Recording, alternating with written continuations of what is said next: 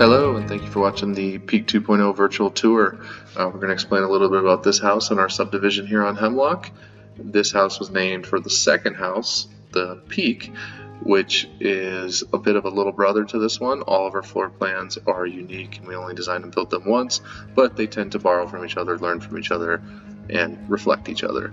So there's no HOA or special taxes here. This is a 1670 square foot home, three bedrooms, two bathrooms, plus an office. We have an extra long, extra tall, extra storage garage. We build for high efficiency. We use Navien tankless hot water heaters, Trane furnaces and air conditioners.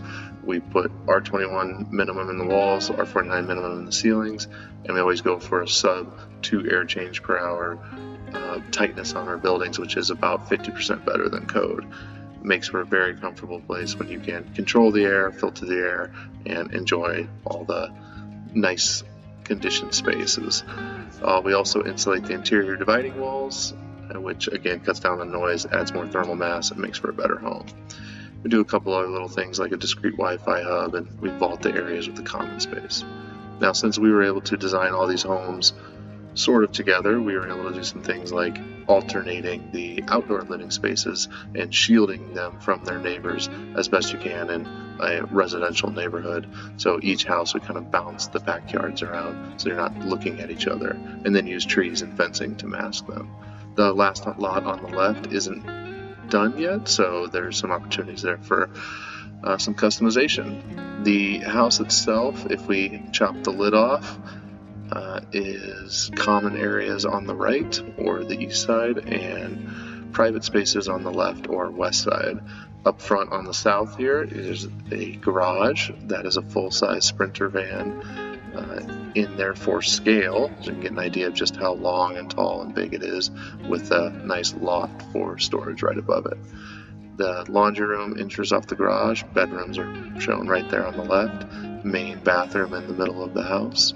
The primary suite in the back of the house has its own patio access, a walk in closet, a double vanity in the bathroom, as well as a shower tub wet room combo.